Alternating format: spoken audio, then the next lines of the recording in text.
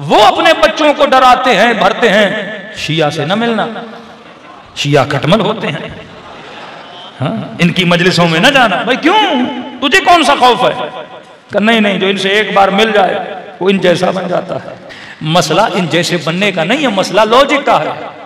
क्योंकि हमने बरमला अपने बच्चों को बोल भी दिया, सिखा भी दिया, इजाज़त भी दे दी कि मेरे लाल, अगर कोई तुम्हें कल बोल भी दे कि अली को छोड़ दो, तुझे डरने की ज़रूरत नहीं है। तुम बरमला बोलना ठीक है, किबला आपके कहने पे मैं अली को छोड़ रहा हूँ। छोड़ने से कोई डर न रखना, बोलना ठीक है, मैंने आज अली को छोड़ दिया, लेकिन उसे इतना कहना, अली को छुड़वा तो रहे हो, लेकिन कोई ऐसा भी तो दो, जो अली जैसा हो।